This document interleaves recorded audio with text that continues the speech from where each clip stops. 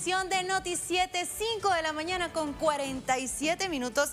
Todo el equipo reunido desde muy temprano para trasladarle a usted la información, aquello que ha acontecido en los últimos minutos, en la actualización informativa de lo que se ha registrado tanto en la noche como en la madrugada de ella, porque estoy segura que hoy a usted le va a ir muy bien. Antes de ir directamente con las noticias, quiero saludar a mi compañera Vicky Castillo. Buenos días.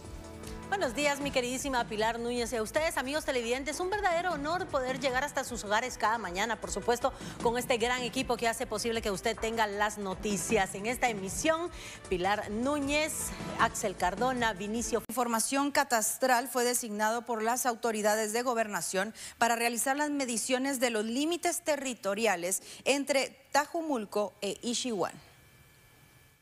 El ministro de Gobernación David Barrientos, junto al ejército, el gobernador de San Marcos, pobladores y representantes de los municipios de Tajumulco y de Ichihuán, instalaron una mesa de diálogo para resolver el conflicto del área limítrofe entre ambos municipios. En la reunión que se llevó a cabo, se estableció que el registro de información catastral determinará los límites territoriales para poner fin con el conflicto que ha persistido por más de 80 años. El resultado de esta mediación se dará a conocer en una segunda reunión que se tiene prevista para la segunda semana de marzo en las instalaciones del Ministerio de Gobernación ubicado en la zona 1 de la ciudad capital. El pasado 4 de febrero, pobladores de Tajumulco reportaron siete viviendas quemadas y varias personas heridas, debido al conflicto que ha persistido en este sector. El paradero de las siguientes personas con alerta Alba Kenneth. Iniciamos con Juan Antonio Nieves Morales. Él desapareció el 22 de febrero de este año el último lugar que se le observó fue en la zona 5 de Ratroleu. Cuenta con 16 años de edad. Pues eh, en ese momento vestía camiseta blanca, pantalón beige y tenis celestes cuando pues lamentablemente se reportó su desaparición. Cabello negro, color de ojos café y una estatura aproximadamente de un metro sesenta. La segunda persona que verá usted en pantalla es Silvia Vanessa Muñoz Barrios. Ella también desapareció una ubicación que le vamos a dar a conocer en estos momentos. Eh, todos tienen alerta Alba Kenneth.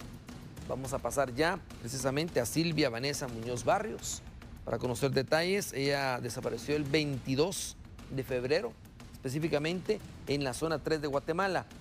Cuenta con 16 años de edad, es delgada.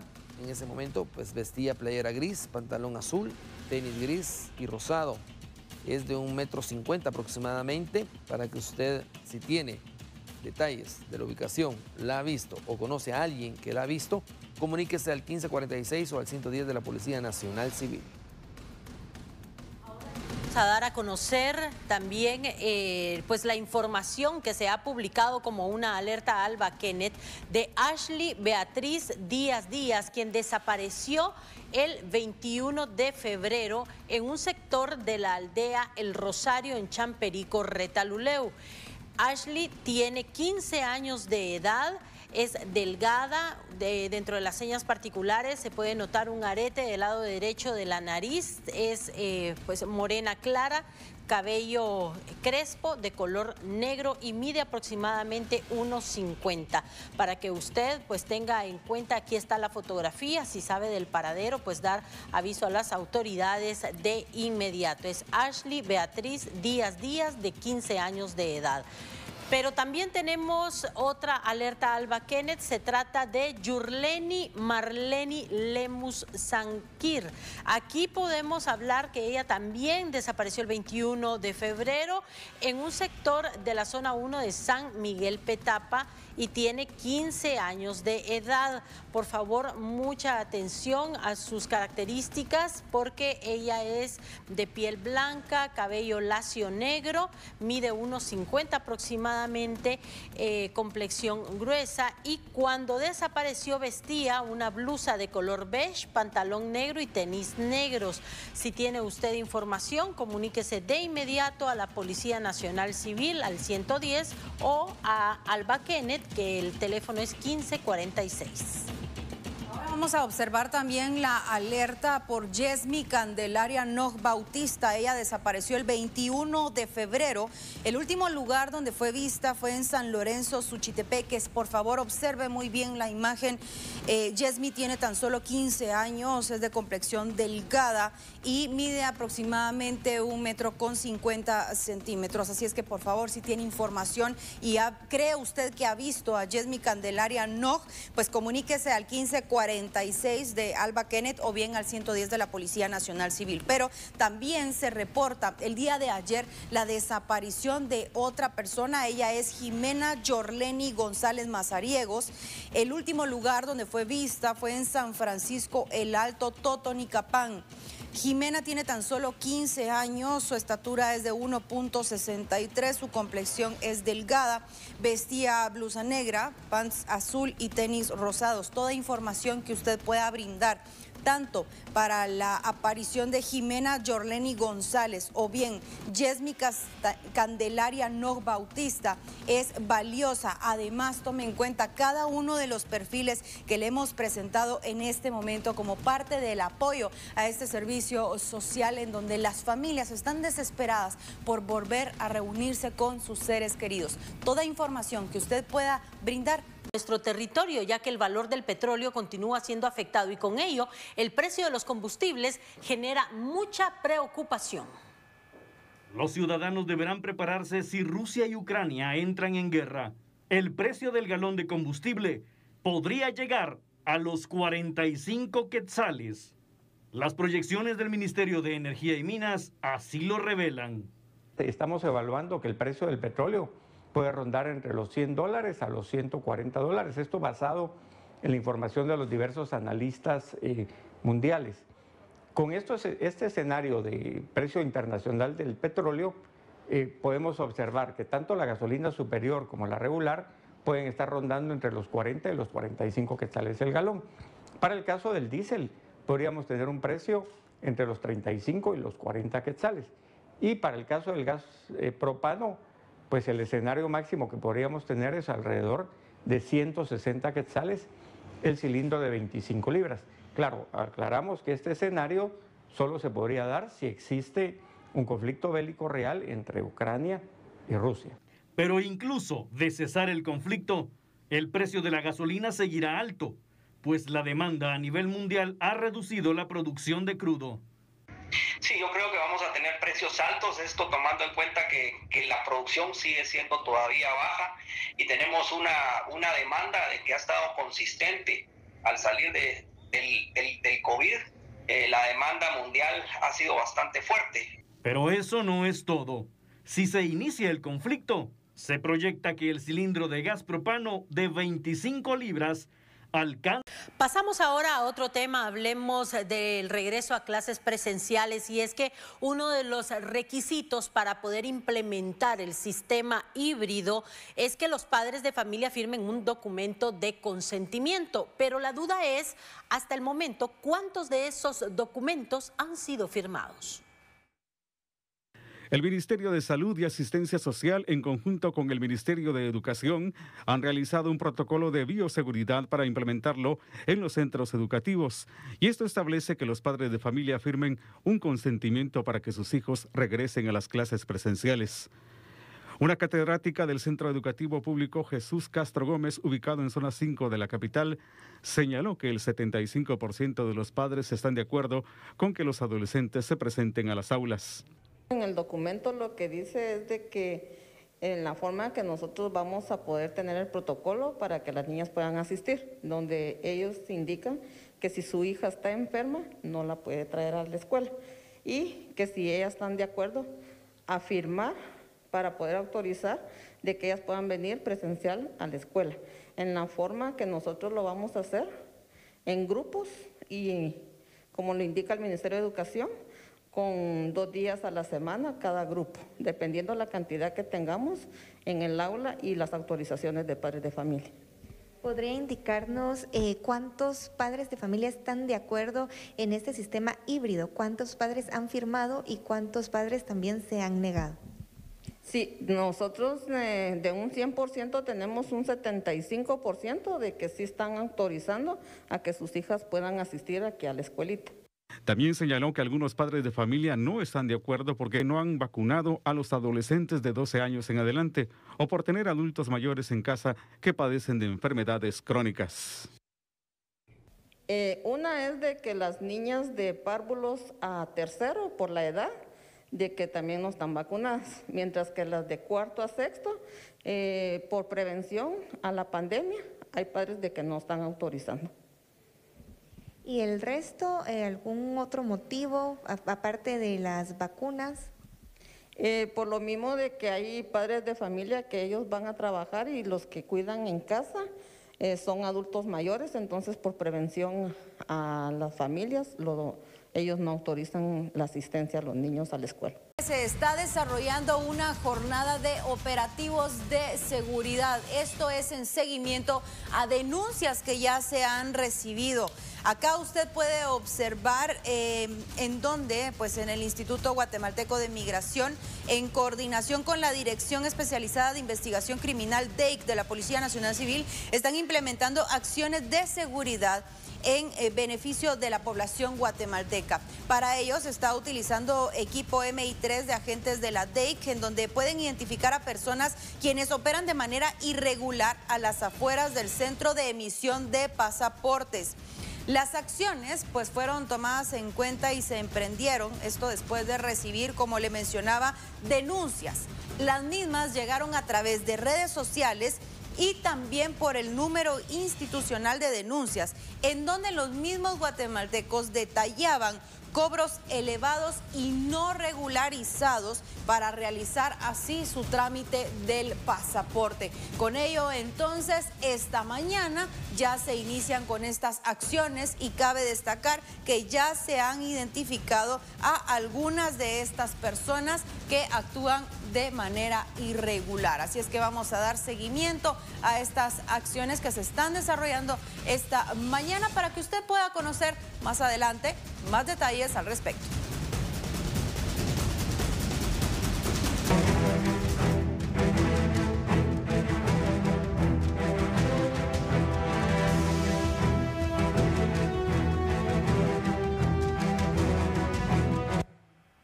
Vamos ahora con más información, siempre en el tema educativo. Según información que han brindado autoridades del Ministerio de Educación, niños y adolescentes serán sometidos a un proceso de refuerzo de dos clases. Específicamente estamos hablando de matemáticas y de lenguaje.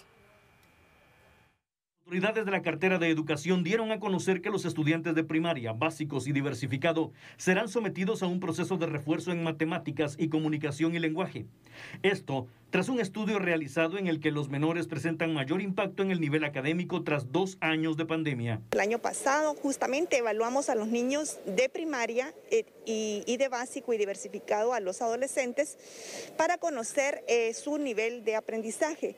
Tenemos preparados ya eh, tutores que van a ser certificados en el área de matemática y comunicación y lenguaje para que justamente puedan llegar a los centros educativos a apoyar a los maestros cuyos eh, niños han tenido eh, algún desafío con los aprendizajes. Estos niños van a tener una retroalimentación especial en las competencias que se han identificado en el área de matemática y comunicación y lenguaje. Por aparte, se informó que habrá brigadas que buscarán a los niños que, por diversos factores, han abandonado sus estudios. Puede ser que algún eh, niño o adolescente tenga alguna dificultad para eh, regresar al aula. Entonces tenemos brigadas de búsquedas para los estudiantes para que podamos a los adolescentes, de ser necesario, ofrecerles una modalidad alternativa y a los eh, escolares de la primaria poderlos regresar al, al ciclo que les corresponde. Eh, al año que les corresponde. Tal vez aquí lo, lo importante es que eh, recuerden que el año pasado tuvimos 147 mil estudiantes aproximadamente más en los niveles de preprimaria y primaria. Bueno, hablemos ahora siempre en este tema y es que más de dos millones de niños deben esperar el siguiente cambio de semáforo específicamente para poder regresar a las clases presenciales. Según los registros del Ministerio de Educación, 2.065.004 niños deberán esperar el siguiente cambio del sistema de alertas por COVID-19 de la cartera de salud para poder retomar su ciclo escolar de manera híbrida, ya que en el último cambio de semáforo efectuado, 224 de 340 municipios se encuentran en la alerta roja y tan solo 4 a nivel nacional están en amarillo. De 34.166 centros educativos a nivel nacional, 23.450 no pueden operar debido al color del semáforo que se refleja en la incidencia de contagios por habitantes. De hecho, 740 escuelas que se encontraban listas para iniciar en modalidad híbrida no lo hicieron, ya que a dos días del acto inaugural, el semáforo cambió de naranja a rojo. Hasta el momento la matrícula escolar registra 3.171.870 entre niños y adolescentes que iniciaron el ciclo 2022, aunque se espera un incremento de inscripciones en las próximas semanas del Centro de Emisión de Pasaportes. Alfredo Mendoza se encuentra en el lugar para brindarnos información de lo que se está llevando a cabo en este lugar. Alfredo, buenos días. Adelante.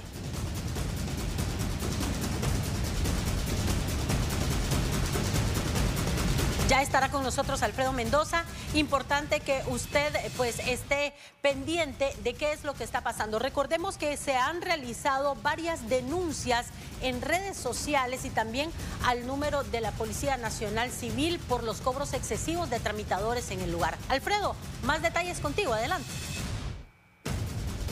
Gracias y muy buenos días, amigo televidente, compañeros en el estudio. Qué gusto saludarles a esta hora de la mañana. Tenemos ya importante información, para ello me he trasladado hacia las afueras del centro de emisión de pasaportes, ubicado en la zona 4 de la ciudad de Guatemala. Acá vemos pues cierta movilización por parte de oficiales de la División Especializada de Investigación Criminal de la Policía Nacional Civil, quienes de manera infragante han venido hasta este punto para poder eh, pues inspeccionar a las personas que se dedican pues a ser tramitadores. Y es que según pues los propios testimonios de algunas personas que pues vienen a este lugar a realizar los trámites correspondientes, en este caso la obtención del pasaporte, han indicado que pues, se han sentido a veces estafados. Es parte pues lo que nos han indicado y eh, pues Policía Nacional Civil se encuentra realizando estos operativos de rutina para evitar pues este tipo de acciones. Se está tratando de identificar a las personas que se dedican pues a trabajar de esta manera, a ser tramitadores, y es que precisamente pues esa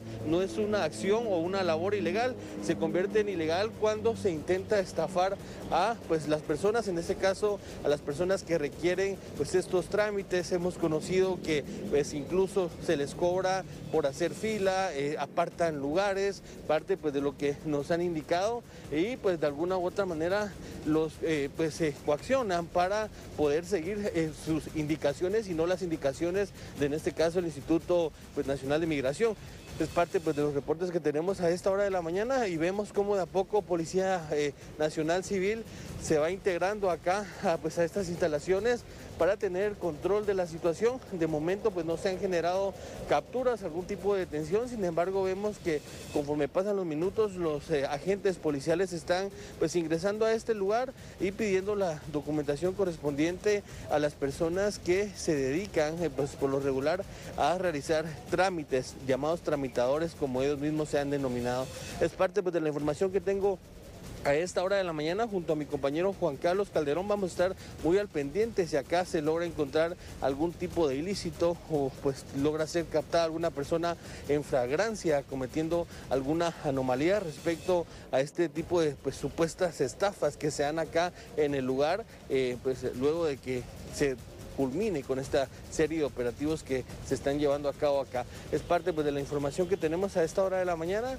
Eh, acá pues no existe, como lo han indicado los propios oficiales, un dispositivo que indique quiénes o no son pues tramitadores, es a criterio de los propios oficiales. Sin embargo, están acá pues ubicados eh, inspeccionando a las personas. También pues eh, las bolsas o mochilas que cargan son inspeccionadas para determinar qué es lo que llevan allá adentro, como pues lo recalcamos el ser tramitador no es una acción u oficio ilegal, sin embargo se convierte en ilegal cuando ya las personas incurren hasta eh, pues en un tipo de estafa. Es parte de la información que tengo junto a Juan Carlos Calderón. Regreso con ustedes a Estudios Centrales. Más adelante tendremos una actualización informativa sobre las acciones que acá se están dando. También pues está la expectativa de la llegada de las autoridades de migración, quienes se valoran pues estas acciones han sido requeridas también por ellos mismos para pues, brindarle así la seguridad al usuario, al ciudadano que está tramitando el pasaporte. Es la información que tengo. Regreso al set principal. Muy buenos días.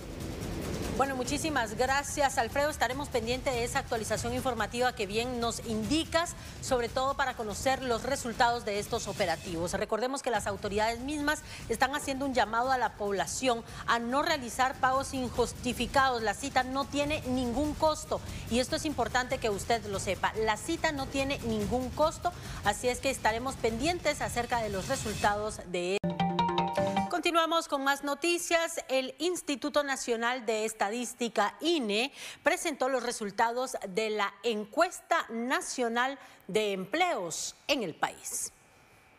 Durante la reunión extraordinaria del Gabinete Específico de Desarrollo Económico, el Instituto Nacional de Estadística dio a conocer los resultados de la Encuesta Nacional de Empleos e Ingresos, ENEI, los que reflejan que 164 mil personas se encuentran desocupadas, lo que representa un 2.2% de la población. Dentro de las características del mercado laboral, las mujeres tienen un 2.9% de desempleo abierto, en comparación con los hombres, con niveles menores a 1.8%.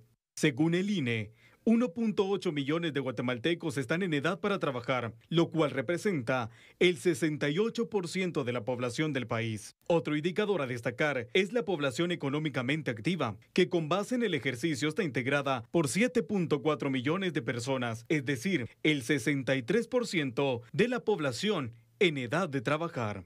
Los resultados presentados por parte del Instituto Nacional de Estadística tienen como una base un total de 17.2 millones de personas, de acuerdo con las proyecciones de la población elaboradas en el año 2019, lo que según las autoridades garantiza la precisión de los datos reflejados en el NEI. En pantalla, imágenes de mi compañero Diego Ulín. Soy David López. Hasta aquí mi reporte. Bueno, continuamos con otras noticias y es que poco más de 7.300 profesionales y empresas que prestan sus servicios en materia contable o auditoría están pendientes de incorporarse en este caso al régimen de factura electrónica. Sin embargo, la fecha límite es este 24 de febrero. Los profesionales que incumplan tendrán problemas al facturar por servicios prestados. Todas las empresas que dan servicios de contabilidad, peritos contadores, CPAs, tienen un plazo hasta el 24 de febrero del presente año para poderse incorporar. A ellos se les ha ido notificando, se les han enviado comunicaciones electrónicas, se les han dado avisos. Hay un poco más de 27.300 eh, contribuyentes que entran dentro de esta categoría. De ellos, 16.460 ya se habilitaron en el régimen FEL. Únicamente están pendientes 7.300 contribuyentes de habilitarse todos aquellos contribuyentes que no se incorporen a, factura electrónica a partir del 24 de febrero y no soliciten la prórroga como indicaba el ingeniero, pues nosotros ah, publicamos un listado de esos contribuyentes no reanuentes a habilitarse a FEL. Sin embargo, los ciudadanos que contratan los servicios de contadores deben tomar en cuenta que las facturas que reciban deberán ser FEL y no de papel. Facturas en papel quedan inactivas desde el momento que vence el plazo para la incorporación a FER. Quiere decir que estos contribuyentes que no se hayan habilitado en el régimen, a partir del 25 de febrero sus autorizaciones pues ya no estarán eh, vigentes. Por ello los invitamos a acercarse a la Administración Tributaria si tienen inquietudes bueno, de esta manera hemos llegado al final de esta emisión de noticias, agradeciendo como siempre su preferencia. Gracias por habernos acompañado. Recuerde que cada mañana a las 5.45 los esperamos para que usted esté enterado de todo lo que acontece en nuestro país desde primera hora. Y desde iniciado el noticiero usted podía ver que había bastante circulación vehicular. Ya para esta hora se ha incrementado la cantidad de vehículos que se registran en la vía pública. Por favor, recuerde tomar todas sus precauciones. De hecho, tenemos uno de los principales eh, puntos acá, la calzada San Juan con la Doroteo Guamuch, en donde ya se ve que hay bastante movimiento. Recuerde, por favor, calcular muy bien sus horarios y sobre todo el tiempo de desplazamiento que se requiere de un punto a otro. Hasta acá las noticias, le deseamos un día extraordinario.